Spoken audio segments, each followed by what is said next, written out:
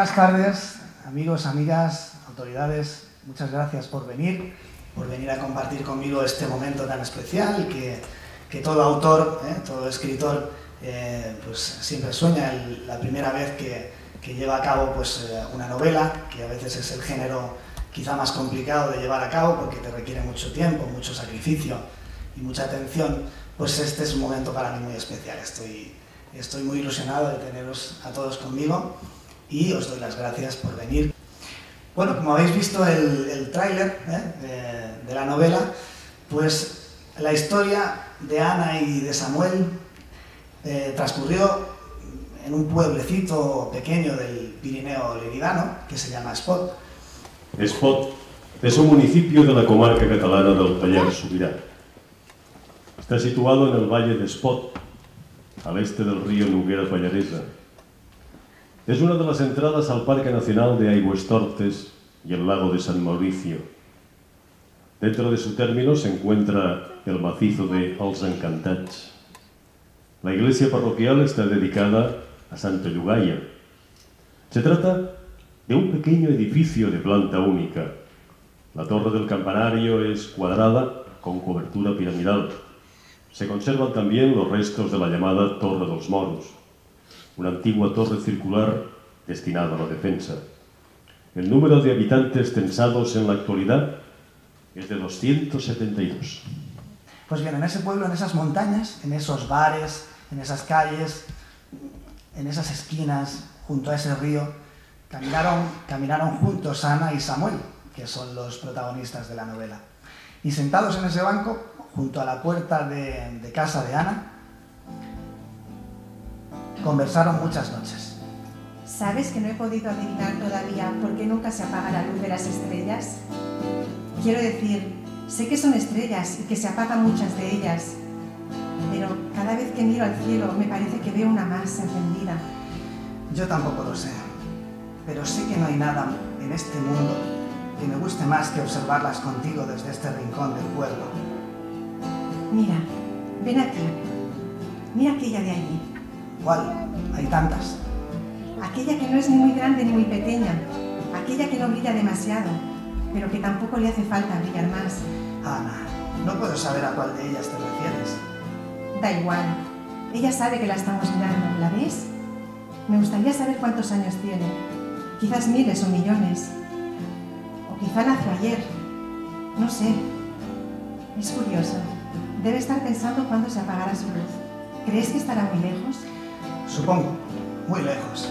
Demasiado como para poder llegar a ella. ¿Qué va? Dame tu mano. ¿Para qué? Dámela. Ahora mira fijamente el final de tu dedo índice y elévalo poco a poco hasta alcanzarla. ¿Ves que la puedes tocar? ¿No lo ves?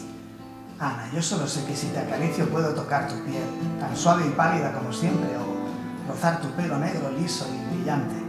Esa estrella está demasiado lejos. ¿Cómo me sentirás si un día no estoy contigo? El tacto de tu piel y de tus manos se ha quedado grabado en mis manos. ¿Y cuando el recuerdo de tu piel olvide la imagen de mi rostro? Por ti tendrá buena memoria. Bueno, pues esa era la historia de amor. Supongo que estáis pensando que estoy desvelando demasiado de la trama, pero, pero no, en absoluto, porque cuando empieza la novela, Ana ya está muerta. Samuel descubre un diario escrito por Ana antes de morir, en el que se describe una extraña fórmula. Y ese diario fue escrito en dos lugares. El primero de ellos, el colmillo afilado, junto al lago, frente a la montaña de los encantados, en el lago de San Mauricio. La dualidad. Página 4, Diario de Ana. A veces, las cosas no son lo que parecen. Reconozco que es difícil superar las pasiones, caprichos de nuestro traje humano. La sensación de la propiedad de todo cuanto nos rodea, incluso de las personas que tenemos a nuestro lado.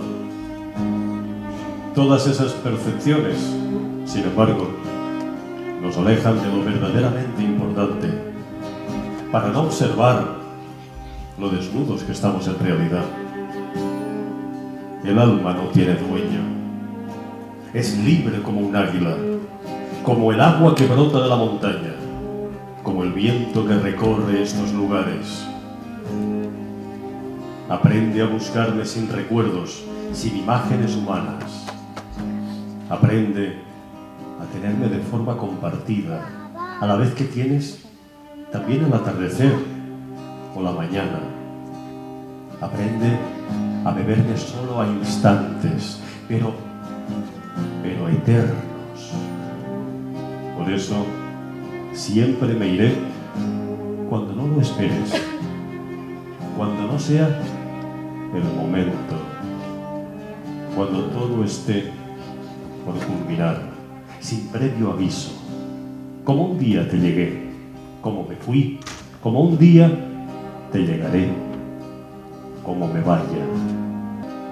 Estamos solos, el guardián y yo soledad tan lejanamente compartida.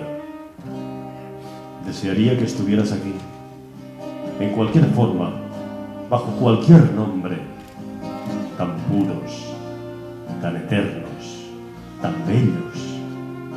El sol también me acompaña esta mañana tras las brumas y la niebla. Saboreo la temporalidad, saboreo también la muerte nuevamente próxima y saborea a su vez el próximo inicio de todo, de todos los momentos de pasión y de reencuentro. Bueno, como podéis escuchar, esta novela también tiene, como no podía ser de otra manera, yo soy músico. En, en según qué pasajes tendréis un pie de página en el que si tenéis el disco, el código, podéis mm, escuchar como si fuera la banda sonora de, ese pasaje en concreto, pues, bueno, según qué canciones, según qué códigos, que todo forma parte de la, de la novela. Pero atraído por esa fórmula secreta, por esa fórmula secreta que está codificada en el diario de Ana, Samuel iniciará un viaje de búsqueda de respuestas que le llevará inexorablemente a la isla, al islote, a Esvedra, a este lugar tan bello que tenemos aquí cerca, nuestro mágico Vedrá. La isla de Esvedrá es un islote próximo a Ibiza que forma, parque, que forma parte del Parque Natural de Esvedrá, Esvedranell y los Illots de Ponent. Todos lo conocemos y sabemos que nadie que se ponga ante él queda indiferente. Fuente de inspiración de todo tipo de artistas, el islote que reina majestuoso en medio del mar promueve innumerables leyendas y sucesos que lo dotan aún más si cabe de un misterio difícil de desgranar. Cerca de ese lugar, en la montaña de Roques Altas, desde la que se contempla también majestuoso Esvedrá, un trágico suceso ocurrió en 1972. El accidente de un avión procedente de Madrid con escala en Valencia, en el que perecieron sus 104 ocupantes.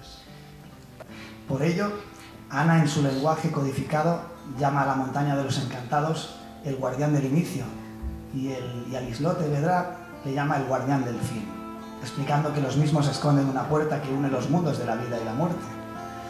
¿Acaso Ana había estado en Ibiza antes de, de conocer a Samuel?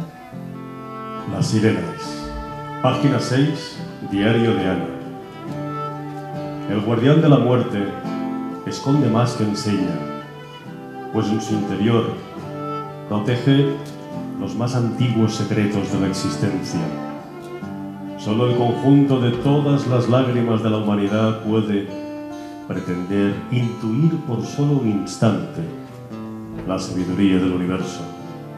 Pero la puerta hacia el verdadero secreto se esconde debajo, en las profundidades del mar de lágrimas en el que se baña el guardián.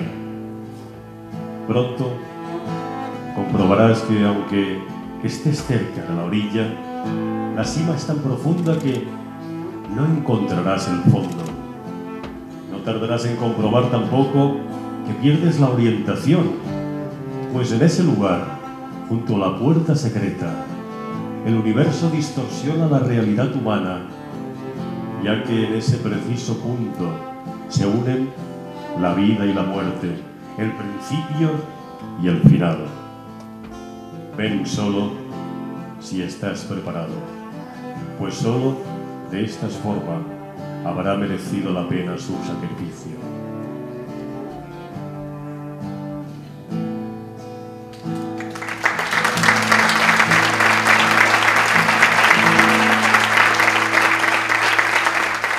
Lo que sí que me quedo es las ganas, la, la- ilusión de que disfrutéis. Si tenéis ocasión de esos dos parajes de ensueño, uno ya lo tenemos muy cerquita, que es Esvedra, y otro, pues, eh, Spot, el lado de San Mauricio, no dejéis de, de visitarlo y sobre todo no dejéis de soñar. ¿eh? Y en definitiva, no perdáis de vista a la muerte, pues es la mejor evidencia del increíble regalo que es la vida. Tras la puerta esperaré a que vengas y aunque esperando